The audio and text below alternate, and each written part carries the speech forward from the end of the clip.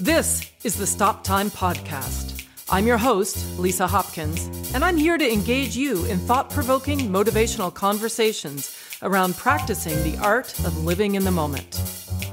I'm a certified life coach, and I'm excited to dig deep and offer insights into embracing who we are and where we are at. So, my next guest is the first person in history to create and sustain a full time career as a solo percussionist, performing worldwide with the greatest orchestras and artists of our times. She is a double Grammy Award winner and a BAFTA nominee and has commissioned over 200 new works for solo percussion and has recorded over 40 CDs. She is the first percussionist to be awarded the Dame Commander of the British Empire and the youngest person ever to be elected to the PAS Hall of Fame. As a profoundly deaf musician and role model, her significance transcends the discipline of music. Her unique skills as expert listener and sound creator have driven progress and innovation in a wide array of contexts on a global scale. She is on a lifelong mission to teach the world to listen.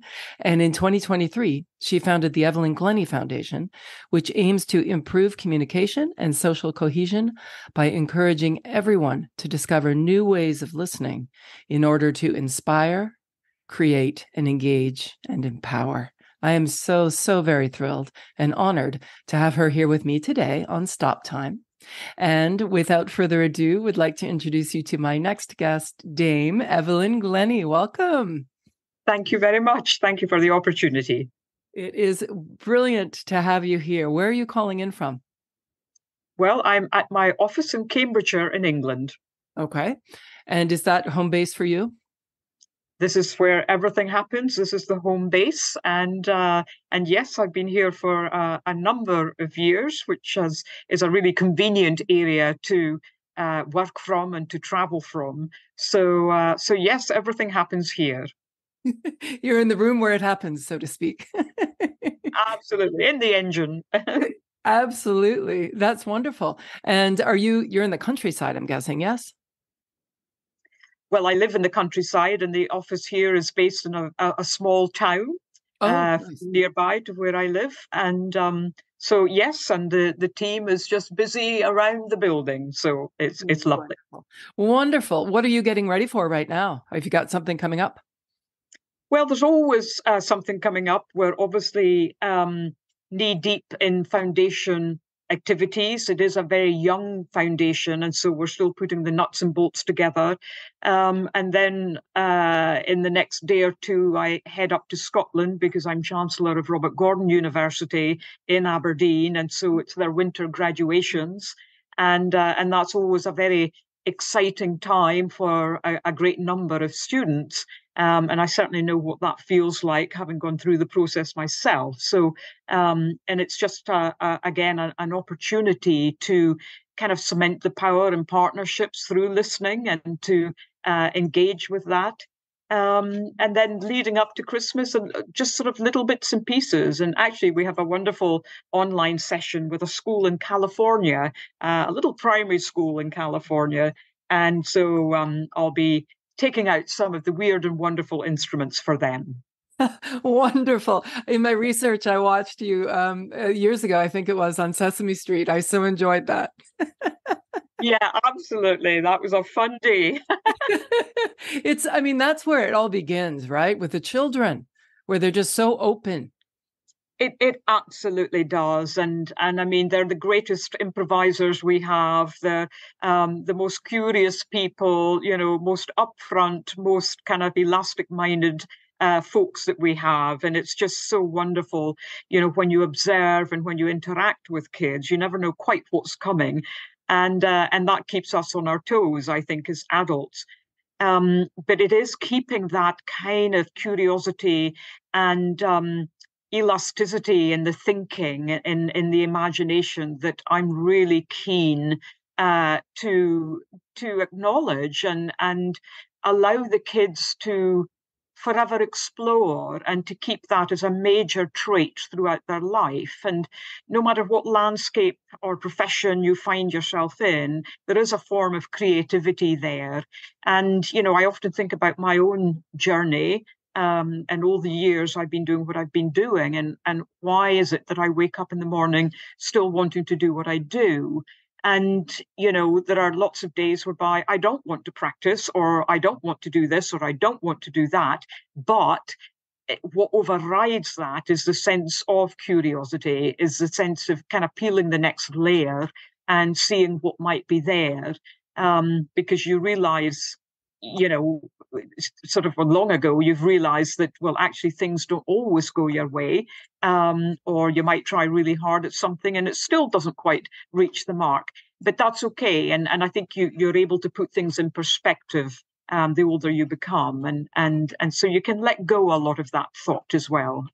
Yeah, no, amazing. That's and yeah, I hear you. And and with with children, they don't have any editing, which is a wonderful thing. And it's a sad thing that we, as adults, sort of teach them how to edit, and we use the word listen as you know, be quiet, basically. No, absolutely. You're you're you're right there. And I think a lot of the vocabulary we use, you know, certainly when we're um, uh, exposing kids to learning instruments and so on you know from that very young age is is you know vocabulary can affect uh, so much of what they think what they do um, and you know even if you're you're sort of thinking about musical vocabularies, you know, something as basic as, as dynamics, you know, F equals loud, P equals soft, and so on. Well, what does that mean actually? What is loud in this room that I'm in today?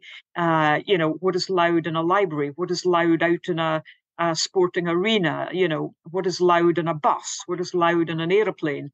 And, um, you know, I think that when we can sort of build around those words the story, you know, kind of a a, a, misty soft or a, a friendly loud or a spongy loud or a, an aggressive loud or a, um, a, a, fragile soft or something, then you've got a bit of emotion there.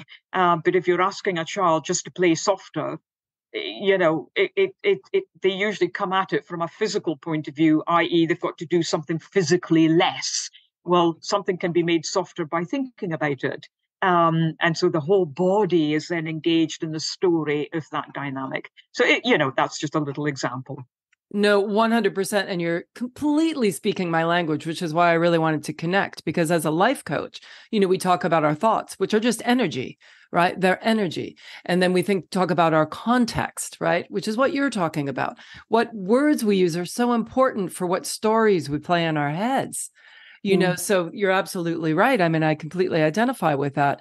You know what soft is to evelyn today is very different what soft to evelyn even in the same room right? Because you have an internal context as well as the external things which you're considering for whatever it is you're creating.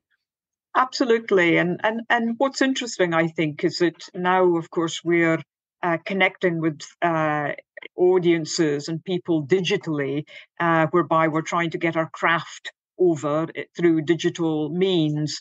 And of course, dynamics then have a whole different dimension because they're no longer physical. Um, and I think that's really, really interesting. And it, it, it changes, you know, what we do. Yeah. Um, and certainly the pandemic, you know, where suddenly we were thrust in our living rooms and kitchens and, and expected to perform, you know, was, was something that certainly in my mind didn't work for me personally. Um, and so I didn't engage with that. And I think that, you know, for, for some people it works really well. For others, like myself, it it certainly uh, didn't. And and it, it just something it was something that, you know, didn't give me any emotional pleasure. I had no connection with it whatsoever.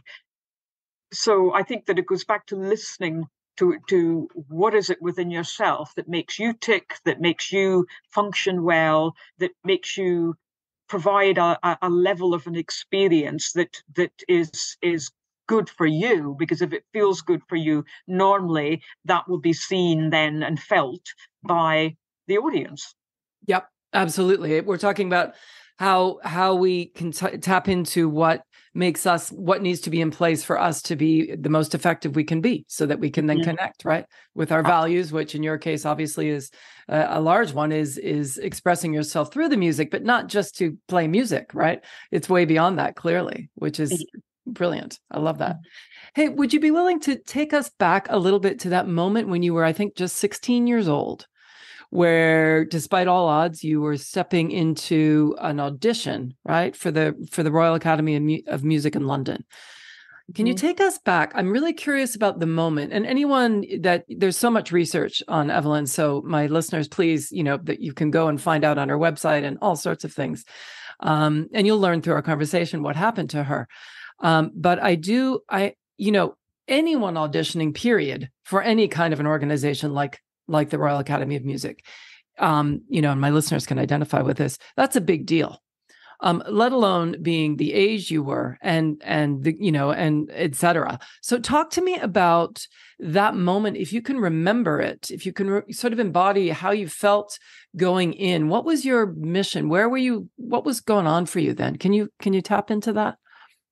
Well, I basically obviously was still at school in Scotland, and uh, I was waiting for exam results to see if I could um, do the uh, degree course at the Royal Academy of Music. So I needed certain grades to uh, to do the degree course. You didn't need those exams if you were going to do the performers course. Um, but I really wanted to do the degree so that I had something to fall back on if if need be. So I just done my exams and I had to wait a few months in order to get the results of those, which is, is quite normal up there. And um, but meanwhile, I had the opportunity to audition for the Royal Academy and the Royal College of Music, both in London, and they're both equally good places to to go to. But I had no intention of ever being accepted at that time. I just thought I'd do it for the experience and uh, because I had no idea what level I was uh, on a national scale. Um, and it was important for me to get some kind of inkling of that. And um, so I auditioned. Uh, I think the first one was the Royal Academy, and I felt the audition went as smoothly as it could. I did the best I could.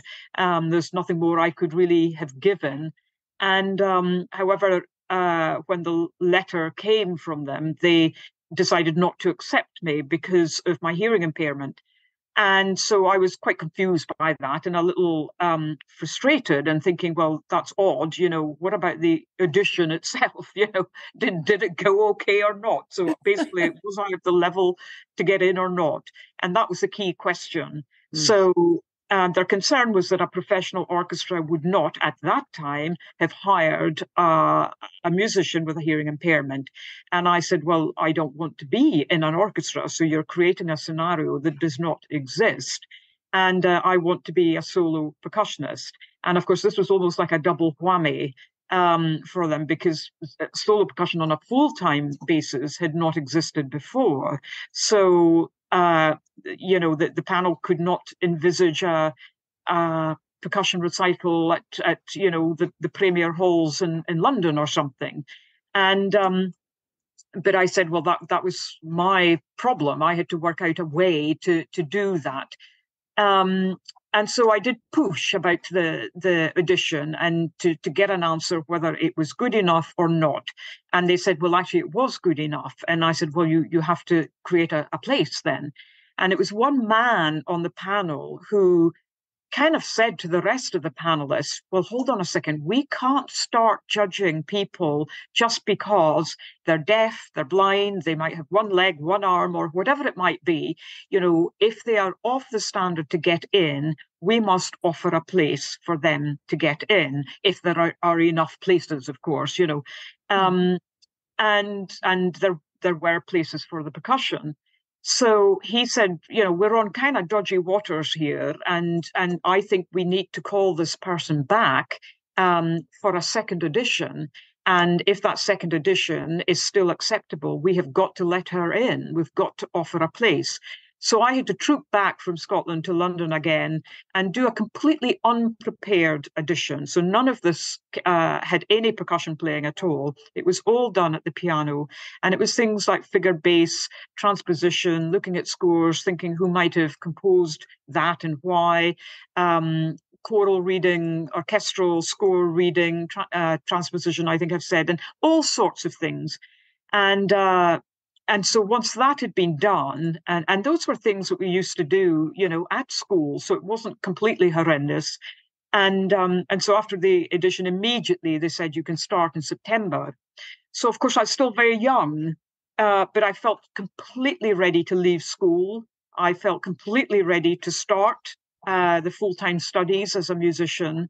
And that was it. But the outcome was that it changed the landscape uh, for future uh, people who were auditioning who happened to have various um, challenges, physical or otherwise. And um, and that all auditions were based on ability um, and what the panel felt that they could work with and improve, you know, where they could sense the uh, sense kind of uh, that feeling of improvement within the the individual, and um, and and that was that. So once once I got in, it was a case of getting your head down, concentrating, mm. making use of the time, um, and and and working very hard indeed.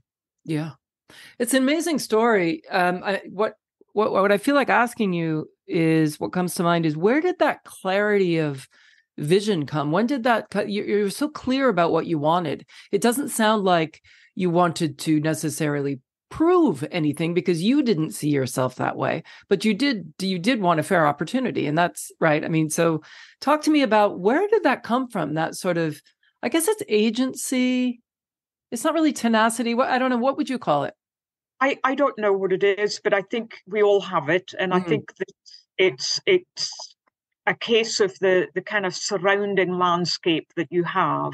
Mm. Um, you know, I went to a normal uh, secondary school, you know, in in uh, north of Aberdeen in Scotland, and and it was a school whereby they believe that every child has a story to tell, and so they're not looking for uh, every child to to score A's in, in every exam. That's not what it what it's about.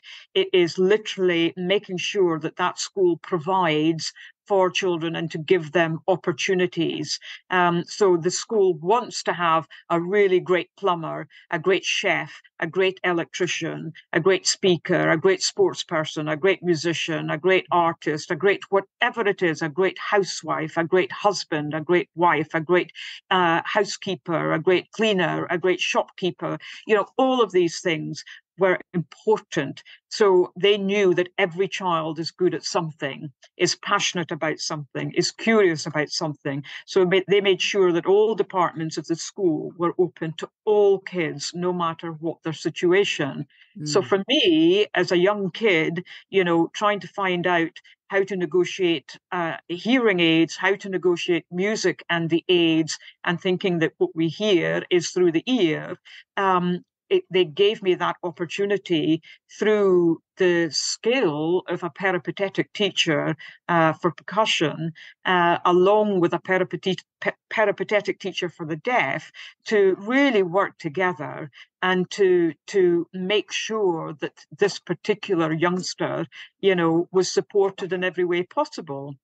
And I remember the the uh, visiting teacher for the deaf, you know, who came in. She was not musical at all. She realised that I was quite passionate about music, and she happened to see something on television at the time about an organisation called the Beethoven Fund for Deaf Children. Now she thought, oh gosh, you know, I think I'm going to write to this fund and see if I can get advice as to how to support this young pupil that I've got, because I've got no idea whether she's going to make it in the music industry. Of course, she was coming at this from the deaf standpoint because that was her expertise. And um, and so she just took the chance to write a letter a typed letter. So this was before email and so on, it started with this is a cry from the heart but i've got a young pupil here who's passionate about music and wants to do music as a profession and it goes on and on. Mm. and she then gets a reply from the organization and and that kind of you know sort of created another a bit of the, the puzzle or another brick in the building if the journey really or the road or however you want to to to call it. And and um, so again you know a journey doesn't happen in isolation. It, it's it's keeping your antennae open, um, you know, just asking, well, what if? So that teacher just said to herself, well, I've, I've seen this organization. What if I write to them? Who knows? It's mm-hmm. as simple as that. And that just keeps going for the rest of your journey. You know, my my particular, you know, career has just been built on that. You know, it's peeling the next layer, opening the next door, you know, peeping around the next corner, just seeing what might be there. Yeah, why not? Right? Why not? Absolutely, exactly that. And that's what kids do so well naturally. Um, and that's what we want to keep going. it's true. And as I said that out loud and thought about in the context of children, you know, when when we reprimand them, they're always, well, well why not? Absolutely. Yeah. We always have a quick answer and a reason, you know, based on talk about, you know, perpetuating limiting beliefs. My God. exactly. That's so funny. Do you have children yourself? No, I don't. No. You don't. Okay, and uh, it, well, you have all your instruments. I'm sure are your children to a big extent. They're, they're, they need a lot of looking after. they can be temperamental, and they can go their own way. Yeah, no, no doubt, no doubt. I'm curious. Have you ever, or have you stayed in communication with that that woman that wrote that letter? No, not at all. Actually, no. I and I don't know where she is now. Um, uh, and or indeed if she is still around. Um, but certainly the the founder of the Beethoven Fund, Ann Rachlin, um, who very sadly passed away a couple of weeks ago, um, we kept in touch really since that very very beginning. Mm. Uh, hmm. stage. So as soon as I met them after that letter was written, uh, we kept in touch um, for for all the years thereafter. Oh, lovely! Isn't that isn't that wonderful? Right to sort of keep those those oh, threads. Oh, absolutely, yeah. And it's it's another example, I think, of you know, it's certainly in Ann's case, digesting her legacy and and you know what she had done um, and what she was still so determined to do, and so. Um, certainly through my foundation, I want to keep her legacy alive. I want to really draw upon that um, I draw upon a lot of the things that she embarked on and she said and the interactions that we had. There's a lot of inspiration for me, and and and I certainly use that as a springboard a lot. Yeah, it's interesting. I often ask my guests, you know, if you could go back and, you know, talk to your younger self and tell them something that, you know, based on what you know now, maybe what what they would have liked to have heard. When when when I think about you and asking you that question, I think maybe that maybe it's the other way around. My instinct tells me that you're very in the moment. Then i mean my my thing is called right being in the moment. I i get the sense that you are so in each moment that it's not attached particularly to any any sort of outcome other than what happens in the moment and that you're yeah talk to me. She's not yeah, yeah, no i think you're right there actually. I think it's it, because and i don't know why that is. It might be because you know as a musician when you perform live you know that is the most important moment you, you know that you're dealing with. And i think when you spread that out you know the person in front of you is the most important person. So at this point in time, you're the most important person in my life mm. because that is what uh, you know whom I'm I, I, talking with, communicating with, addressing, you name it. And and so I mean, can you imagine our conversation if I was you know had my mobile phone sort of here right next to me, and I'm kind of looking at my mobile phone as I'm chatting to you and and you know my head is sort of moving here there and everywhere. I mean that would be highly distracting and you would know that the focus is not really on this conversation. So and I think with music you're you're you know always dealing with that moment even even in a practice session. Um you know I think that's why it's sometimes detrimental to encourage young musicians when they're starting out, you know, you must practice for hours and hours. Mm. Um, well, actually, you know, let's think about what you can do in 10 minutes. What can you do in 15 minutes? What can you do in 20 minutes? And then gradually people just feel the time scale that's right for them, the, the kind of duration that's right for them. So at the moment, because my life is just, you know, doing all sorts of bits and pieces. A lot of the, the things I do are non musical. Um, so they can be admin based or they can be, you know, you can be in meetings, you can be doing all sorts of things. And it's, you know, quite a while before you can get to mm. an instrument. So therefore, 10 minutes matters, you know, and what kind of headspace are you in in that time period and how can you make the most of that? Or it could be that I'm you know, at a venue, but I'm not able to get uh, a, uh, onto the stage because of unions or or something, right. you know, or there's nobody there to switch the lights on or whatever it is. So what is it that you can do in your dressing room then? You know, and it's all of this sort of situation, especially as a percussion player where you don't have access to the instruments as and when you want, certainly in the line of playing that I'm involved with. So you find all sorts of ways to connect with trying to improve things uh, without actually having the most obvious tools. So how can I practice without having the instruments, basically, um, or how can I think of things without ha- having X, Y, or Z? So that's often the situation.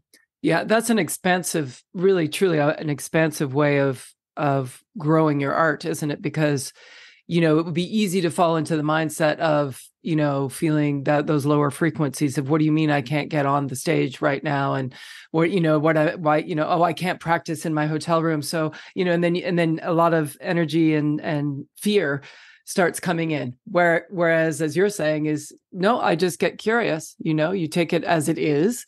This is true. Yes, absolutely. And, and, um, you know the, every situation is different and and and and yes and it just kind of helps you deal with the moment in time. And, yeah. and some things are out of your control and and that's that you know and and other things you can maybe influence a wee bit more. Uh and and and it is again that's a kind of a form of listening. It really is. Um so everything is a give and take. Yep 100% 100% um i wanted to ask you I want to ask you a lot of things. What should I ask you? What's the hardest thing you've ever done? Oh, oh, I don't know. Um, that's an interesting question. I'm not sure if I've if I really thought about that. Um, I I don't know what the hardest thing. It it depends whether you can can sometimes confuse the hardest thing by the outcome and and think then that oh that was really hard because maybe the outcome didn't kind of mm-hmm. uh, uh, you know come to the the the conclusion that perhaps you wanted it to. Um, I, I mean, I've played some uh, pretty hard pieces of music that have been a real kind of uh, struggle practicing.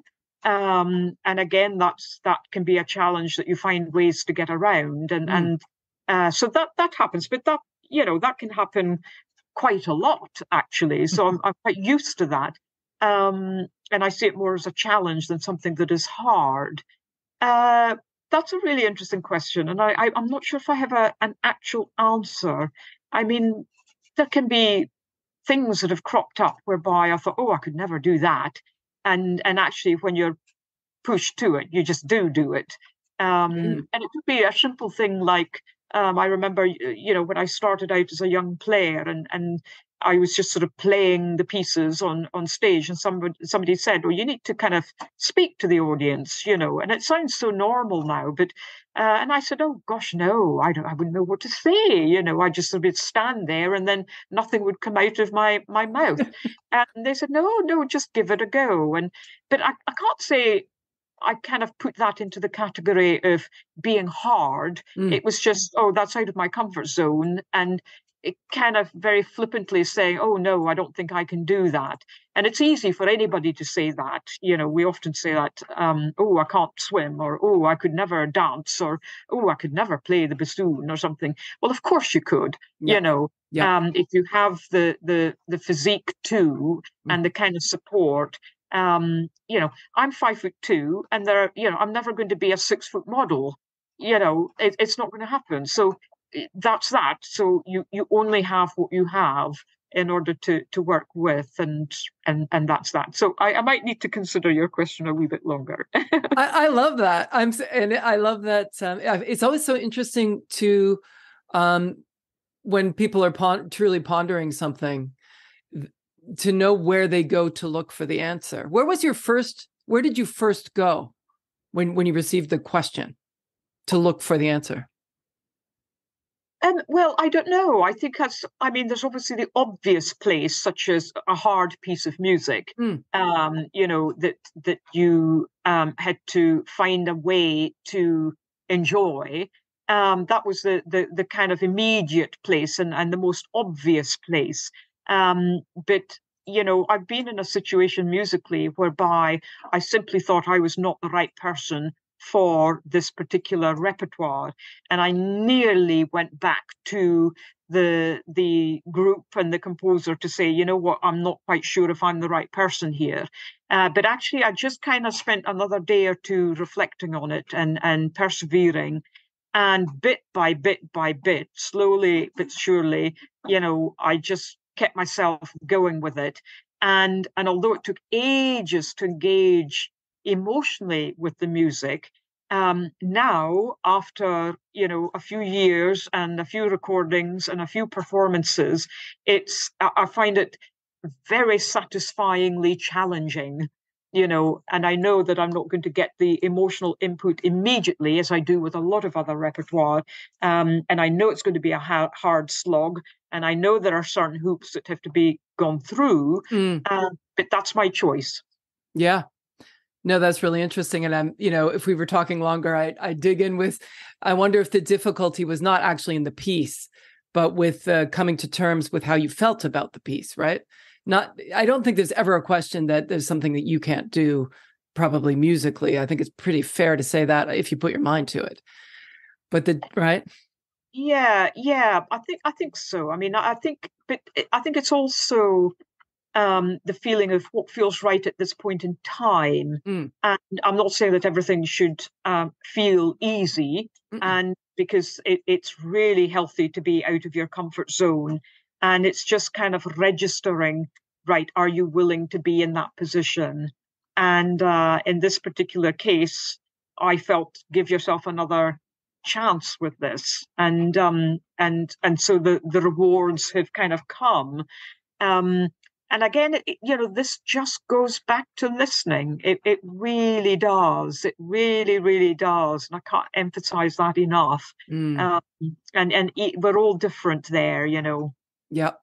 And it's it's so true because you have options of what to listen to as well, right? Just as we talked about with the children, they're open to listening to everything we want them to focus and listen to us or you know listen to the message and what yours and when when we encounter that kind of um, experience that you did you know there was you it sounds like you were confronted with one way of listening and that kind of stopped you for a moment going oh you know maybe i can't do this but then when you opened up to it and got more curious you realize, no no there's other ways of hearing this um hearing my voice in my head right yeah, I think that it's it's finding the entry points that mm. are um, uh, that are perhaps not the obvious entry points, and yeah.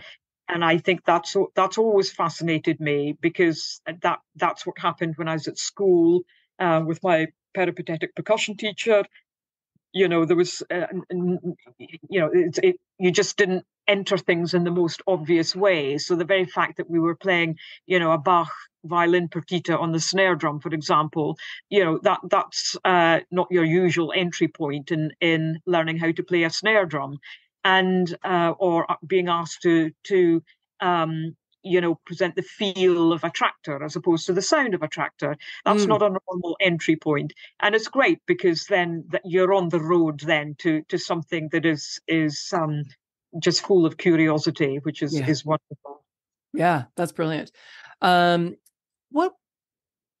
Oh, well, I suppose I should ask you what's the easiest thing you've ever done?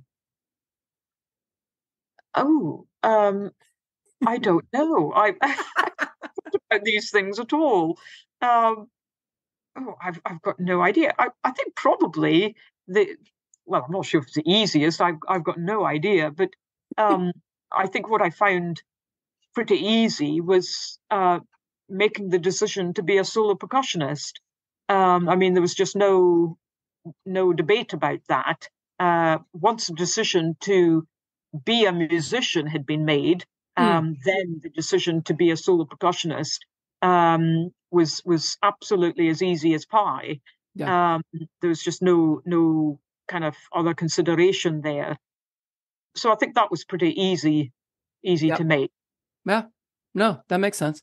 If there were three words that you could use to describe yourself, three adjectives, what would they be? Oh, crumbs, you're really asking some uh, questions here. Um, I know you're a deep thinker. I know you can handle them. oh well, well, I don't know, but I, I don't really uh, kind of think about myself that much. But um, uh, I, I, have got no idea. I think probably, I think I, I'm determined. Um, I'm uh, curious for sure, um, and I oh, I don't know. I'm I'm I'm looking for help here. Um, kind. Kind. Yes. Oh, I'm I'm just looking at Emma here. I, I don't know. You are kind. Am I? Yes. Calm. They said kind. well, what's really interesting is if. Um, I, oh, thank you both. Oh. See, this is oh. fun. Well, it's it's interesting because I bet I bet if I asked you first, what are three adjectives that others might describe you as, would that be easier for you to know how you're perceived? Maybe not. I'm just curious. I, I, I, I think I'd dive under the table. Uh, That's amazing. That's yeah. super cool. Yeah. Yeah. I don't Again, know. I'm just curious. Uh, you know, I, I, I totally vibe with you on the uh the curiosity thing. I'm not, you know, attached yeah. to it's just so interesting. You never know what might turn up. Um what what is your what what is your definition of living in the moment? Do you actually sort of have one or do you just do it? I know you're good at it. I can tell you they're very good at it. Um well, I, I, I'm not sure if I have a definition mm. other than, than um, I know that this word is is coming up time and time and time again in our conversation. But but listen, I think is is such an important word because I, I think it is that connector, even in the heat of a debate or um, in you know the heat of an argument or the heat of frustration or the heat of celebration um, or happiness or any kind of emotion possible, it you know listening to that here and now and and that emotion happening in the here and now is is what we remember.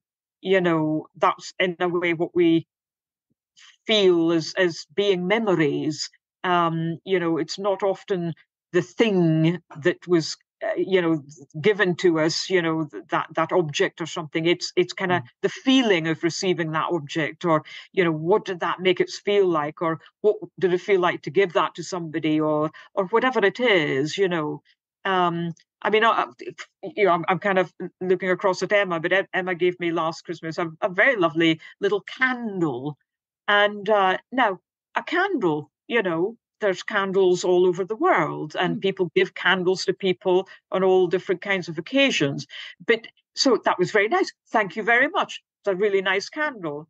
But it's the feeling of what that candle does. So when i pop the candle on in the studio at home you know as we're maybe doing a recording or something like that and this kind of smell wafts you know in the room it's a kind of feeling that is ignited with the candle. So, although it's an object and you say thank you, it's then the, the kind of how this spreads, you know. So that's that's a a, a kind of simple definition um, of I think you know how we can ignite our own um, memories in in uh, in in what we're given or what we give or or something. So it it kind of gets away from being entirely materialistic and feeling, oh crumbs, we have to have something before we feel happy. You know, mm-hmm. we can we can really be happy with ourselves with with not a lot. And you know, you can find something, you know, as you go out for a walk and and it gives you a feeling so it's mm. listening to that feeling, it's acknowledging that feeling. Yeah. Um, so I guess it's sort of stripping out a lot of of what we feel we we need to have. We mm. don't need to have so much. Mm. 100%. No, I hear you and it's it's where gratitude lives, right? I mean, you can't really be in gratitude or listening, which which go together unless you're in the moment, can you? I mean, you can't really listen unless you're in the you're focused on the moment. Yeah, true. And and and I think with listening, I mean, it does need reflection without a mm-hmm. doubt. So you can and and I do it myself. I know I do it myself and I mm-hmm. kind of have to, you know, where I sometimes jump in or I make assumptions or yeah. I might kind of um almost finish somebody's sentence or I might just um have a you know, a kind of snap feeling or or whatever and and then I just think to myself, oh, you know, um, there you go just just step back a little bit here and and yeah. and give time and space uh, a chance to be felt really. Yeah. Something that i write about a lot and that i really identify with is what i what i call the places where there are spaces. And you know as a as a fellow artist uh, i'm a tap dancer. Um, i'm a dancer. I do all sorts of things but i identify quite quite strongly as a tap dancer and um, you know, I've always thought about how important those those places where there are spaces are. I feel like that's what you're talking about. You know, that you cannot have unless you have yin and yang. You know, you you need what happens in between. That's where life is. I used to always say when I was teaching the dance. You know, it was it's you can learn all the technique and that's important, but the dancing happens in between. Right? It's in the it's in the essence. Yeah. Absolutely, it is, and and yes, we often talk about the the the notes, you know, in between the mm. space in between the, yeah. and that's what resonance really is. Yep. Um, you know, that's kind of where the the body language of sound comes in. You know, it, it's um, it's the equivalent of speaking like a computer uh, with no inflection, no um, variation in dynamics or accents and mm. no full stops or commas and things like that. Mm. Um, and and and likewise, you know, with with music, it needs that resonance. It needs the space. Um, it needs the acknowledgement of the acoustics um, in the room, and it goes on and on and on. And that's yeah. really what what the the, the kind of um, sort of well yeah the body language of the sound is and that's then where the story comes into play because we all have different body languages you know we all um, have our own quirky ways of doing things and moving and the pace of our walking or the the how we smile or how we move our heads and so mm-hmm. on and so forth. And that's exactly the same with with sound and how we negotiate sound. Yeah. And the coolest thing about sound is that well you can't really see it or at least not at first sight you can't see it right Absolutely. And I think that's the uniqueness, you know, of science. So you give a concert and people can't walk away with it. Having said that, of course, now with um, everyone having their phones and and being able to to uh, you know very often uh, video things and and have snippets of this and that. It I, I think it is really changing the way we listen and the way we engage with things and the depth of that uh, because it's then no longer a physical thing um, and it's a, a, memory that has been uh, kind of um, frozen and been frozen in time. Mm-hmm. Um, but then it it makes the, the the mind a tad lazy, you know, yeah. because you can always just switch your phone on or whatever device, um, and and remember. Mm. Um, and of course, there are um, certain advantages to that in certain situations, but I think the depth of memory and reflecting and having your own space to do that um, really keeps that story alive. It really, you know, builds on the feeling and it will change that feeling as you go through your life. And that you then have a much better perspective as regards to where it sits in history. Mm. Um, and I think that's so incredibly, so incredibly important.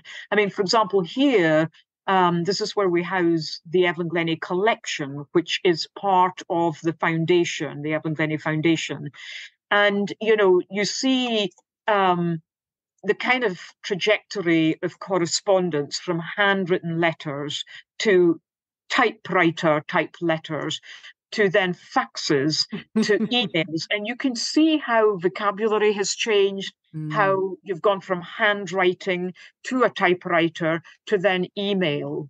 Um, you can see how sentences suddenly become much more clipped and short when email comes into play. Um, you know, mm. how there's less kind of respect in saying, Dear so and so, best wishes or kindest regards, as you might do at the end of a letter or mm-hmm. whatever. You know, it, it's none of that really um, to such an extent exists in the way that we communicate now. Um, and again, there's pros and cons to everything. Um, but when I look back at the letters, I can feel the occasion. Mm-hmm. I can feel the person. I can feel that conversation. You know, it, it's it's a completely different feeling than when I read an email. Yep. You know, I yep. just see all emails as kind of this long list of emails in your inbox without any personality when I see all these addresses. Yeah. You know, oh, and it's yeah. a completely different kind of sensation. And I think it'll be very interesting to see how society is in 100 years' time, 200 years' time, 500 years' time, um, to see how we'll all be communicating. Yeah, that's that's really really fascinating, and it's a really interesting way of looking at it. And it's so cool that you have that that you can actually you know sort of see how it's changed. It's amazing, isn't it? Because resonance, as we were saying, is is in the receiving as well. So if we're if we're so quick, I mean, it's like it's like jamming with somebody who jumps on your toes, right? or doesn't hear what you yes. said in order to respond, and and we're missing all that in our in our in our rush of our, of our lives just to do things quickly. So there's never any moment to embody anything. Absolutely, yes, indeed, and and you know, again, sort of referring to um, the foundation and the collection and its its mission to teach the world to listen is is so incredibly important because that taps into all different landscapes from medicine to sport to uh, music, entertainment to education to religion to business, you name it. You yeah. know, the, the the kind of spine of what we do is listening and and most of the issues that we have and the challenges that we have are to do with listening yep. you know um, whether domestically or, or work wise and so it is quite fascinating i mean last night we had uh, two groups of scouts in to look at the collection and see some of the the the instruments and so on and you know these are you know young sort of teenagers you know you're looking at 13 14 years old or so and uh, and and it's just fascinating for them to be in front of a great big tam tam, mm. you know, mm. holding that great massive woolly mallet, you know, and there they are striking the tam tam and just feeling that mallet on the tam tam and waiting however long it takes to uh, for that sound to disappear and mm. for them to mm. just be standing there, allowing the sound to seep through their bodies. And you know, one of the instruments, you know, I we were just sort of playing, and immediately one of them said, "My God, I can feel that through the floor." Now, you know, you wouldn't normally get a 14 year old or 13 year old, you know, saying that. They might say, oh, that's an interesting sound, or oh, I haven't heard that sound before. But the very first thing they said, wow, I feel that through the floor is mm. is interesting you know and that's what we're asking them to to just be aware of that they have the opportunity to open their bodies up like a huge ear and with that might give them some patience when they have a conversation or before they reply to an email, just thinking, aha, you know what? I'm going to create some resonance here before I just jump in and reply to that. I'm just going to reflect, reflect on that. Or, oh, you know what? I'm going to give myself a, five minutes longer just to digest this maths mm-hmm. problem or whatever it is, um, rather than getting into a state of frustration or feeling they've got to immediately go on YouTube to, to, to work out a, a short route to it or, or something. Yeah. Oh, yeah. 100%. I mean, the work I do as a coach is people say to me, What do you do? And you go, I, I listen and I ask questions. And they go, What do you mean you listen and you ask questions? I listen and ask questions. Well, how does that work? And I say to them, I I listen not to what they're telling me, but to what they're telling themselves. Mm-hmm. And mm-hmm. that's where the questions come from and it's amazing because because people are not listened to nor do they listen to themselves i mean they listen to themselves in one way right the the dominant well, default yeah i think it's a really um it's kind of a necessary and a very precious activity that we can all involve ourselves in is listening to our own self-talk yep. um, own, our own conversation. It's a bit like putting your own life mask uh, on first on an aeroplane or something before mm-hmm. you help your your uh, fellow passenger. And and at first, I you know when that sort of um, was shown, I, I thought, well, well that's a, a, bit selfish. You know, you you need to make sure that your next door neighbour has got their mask on, and then you get yours on. And then I sort of I thought to myself, well, actually, no, it does make sense that you put your own on first because if you're not breathing, you're no use to your fellow passenger. So there you go. Yeah, no, absolutely. I, I could speak to you all day. I would love to speak to you all day, but I know I can't. I know you're busy. So let me ask you this this. Um, oh, well, how do you recharge? Is that something that you feel that you need, or you know, how do you how do you dynamically sort of um, you know get through your day for that matter? How do you recharge? How do you replenish yourself? Um, yes, I mean, I'm not the best at taking holidays by any means, but um, you know, I, I think that uh, um, Emma's laughing. I do like my own time, I will say, and and that is possible to do because I I do live on my own and I enjoy living on my own. But at the same time, I like to connect with people, which is why it it, it works really well with the setup that we have. So you know, I'm not a recluse or anything, but I do enjoy um, uh, kind of having that space. And of course, a lot of the, the work I do, especially when you're practicing and, and traveling around, is often done by yourself mm. on, on your own. And so I'm I'm used to that scenario. Um, but I think it is important to to just have your own time, your own space, and and that is often as good as a holiday. You know it, it it can be just a simple simple things like going out for a walk you know or going out for a cycle or um you know i enjoy going to antique stores and and fairs and that type of thing and that's a release. That's just you know something that i like to do. I, I think for me what would be more stressful is packing a suitcase getting on a plane going to a beach or something, mm-hmm. you know, I don't want to live out of a suitcase when that is sometimes what you have to do in your work. So that to me it doesn't make sense, but that's just me. Um, for other yeah. people, it, it, could be absolutely the thing that they enjoy and want to do. So I think it, each one to their own, really. Yeah, no, absolutely. I hear you. I mean, in those micro moments, right, where you can just sort of go off and take a breath and take a walk. I mean, that's enough, right? Sometimes, I mean, just, I mean, yeah. Yeah, yeah, yeah, yeah. Is there, um, if there was one highlight and one low light in your career so far, what, what, what would those be? I think a highlight, an overall highlight would be the fact that solo percussion does not have to be talked about, whereby it's an unusual thing. It is a normal thing now. And it's a thing whereby young players are embarking on without being seen as unusual or anything like that. So there's the repertoire there to start the career of a solo percussion player. And that was an important part of my aim was to make sure that uh, a player did not have to wait X amount of years before enough repertoire um, was was there in order to sustain a career, and it's important to use that word to sustain a career. And so there's definitely repertoire out there for that to happen. And of course, we all have to participate in the commissioning process still. Um, but nevertheless, it's absolutely possible for uh, a young player, if that is their mission and passion, to start immediately a career as a solo percussion player. So I think that's the overall high, actually. There have been many.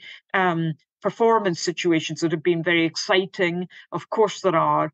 Um, probably the most um, uh, you know recent one I would I would say would have been and, and even that is is you know back in in um, 2012 was the London op- opening ceremony of the hmm. Olympics. I mean that was a, an incredible high, more for the country and mm. and um, again it's sort of zooming out of the situation. That was an amazing an amazing event, um, and it changed a lot of people's lives actually. So that was definitely a high point. But as I say, the overall high is is making sure that, that and and and showing that the sustainability of a solo percussion career um, has been possible.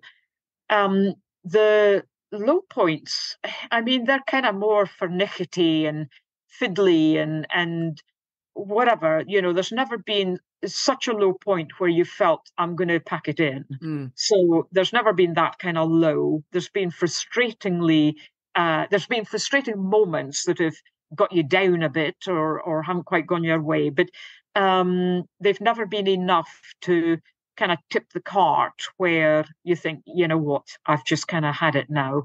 Yeah. Um, so I think I'm kind of grateful for that.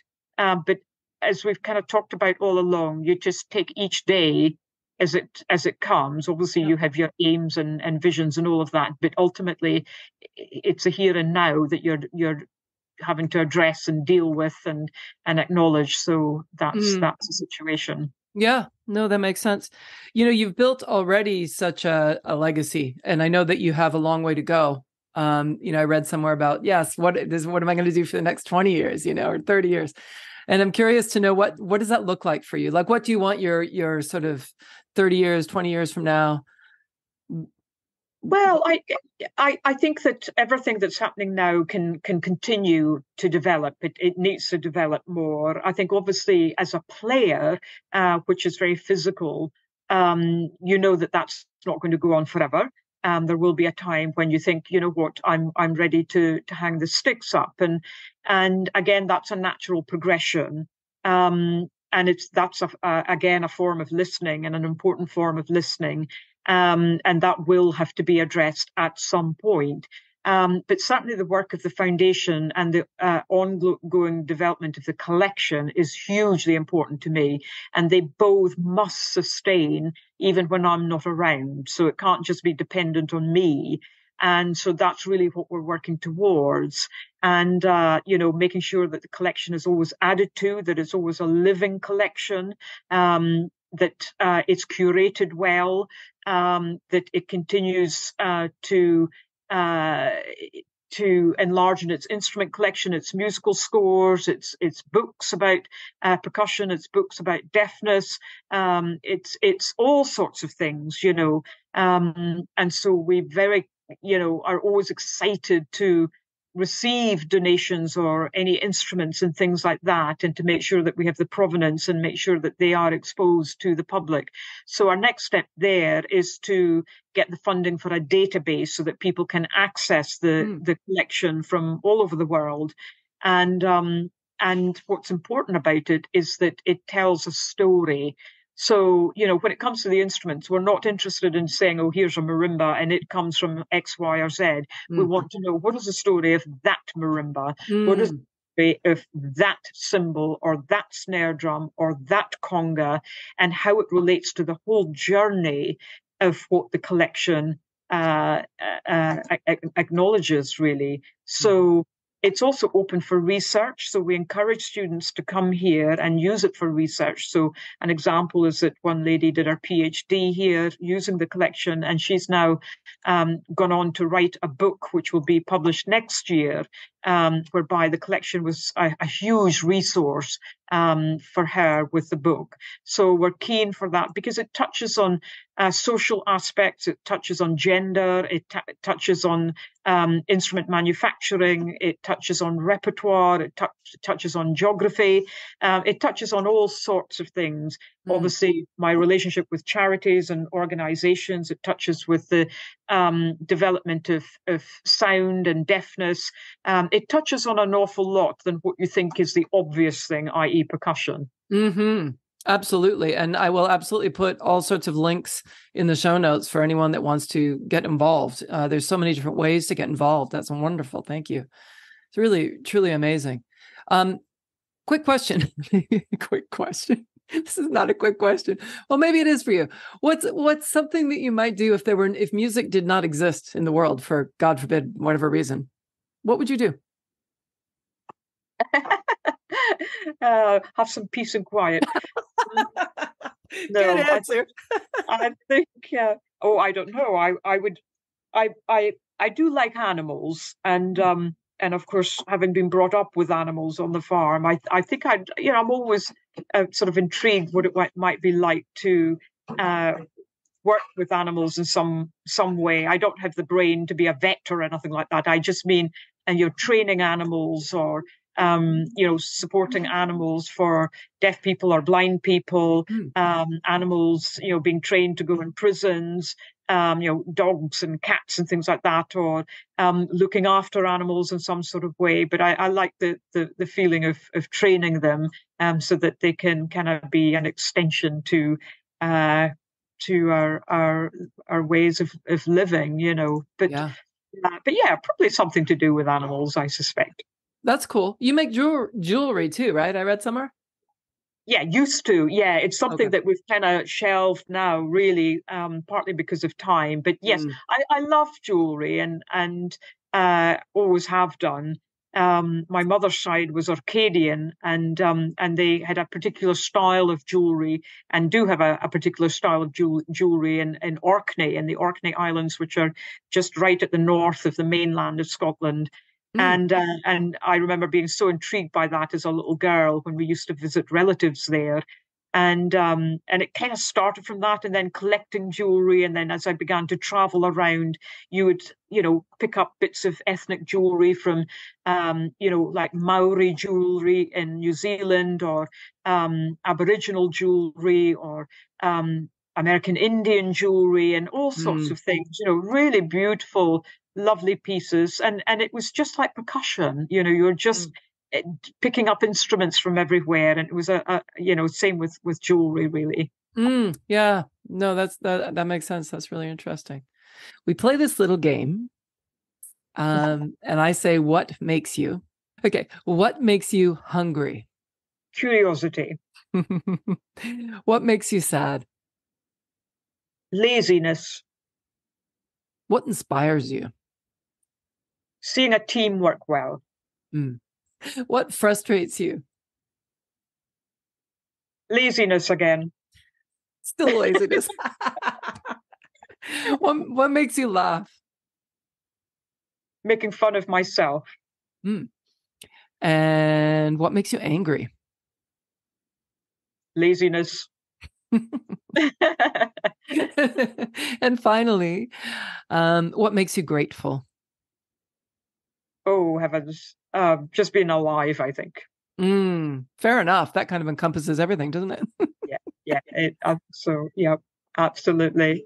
Brilliant. What are the What are the top three things that have happened so far today?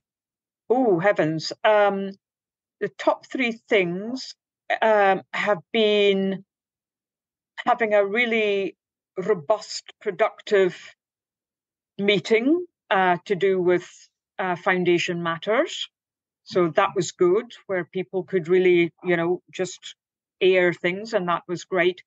Another um, lovely thing that happened was uh, having a, an online session with a law and accountancy firm that have offices up and down the UK and seeing how seriously they think about inclusiveness uh, and listening uh, within their company. Uh, so that was really, really inspiring for me. I think that was that was definitely a, a, a highlight um, for today. And another top thing is that we've had no power cuts and no um, disasters happening in the building so far. So the, we've still got a roof over our heads. So that that's a good thing as well. And what's something that you're looking forward to both today and then in the future? Well, I think today is is just uh, now getting home and and just having a moment to digest what's happened today. So that's mm. that's a nice thing, and you know that can be uh, uh, a, a, kind of healthy moment. Um, and I think in the in the future, it's really getting to the end of the year and wrapping things up for the year and uh, getting the priorities sorted for the new year. Um, and kind of that feeling of starting starting a fresh new year again. Mm, yeah, yeah, it is that time of year, isn't it? December already. It's crazy. Um, Evelyn, listen, I so appreciate I so appreciate spending this time with you today. Really, it's been a, an absolute pleasure. Thank you very much. It's, it's, it's been fun. Thank you. Yep. Oh, it's my pleasure. I've been speaking today with, I've been speaking today with Evelyn Glennie. I'm Lisa Hopkins. Thanks so much for listening. Stay safe and healthy, everyone. And remember to live in the moment.